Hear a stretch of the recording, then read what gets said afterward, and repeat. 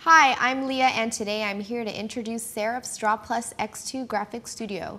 Draw Plus X2 is an incredible Vista certified graphics and animation superstar.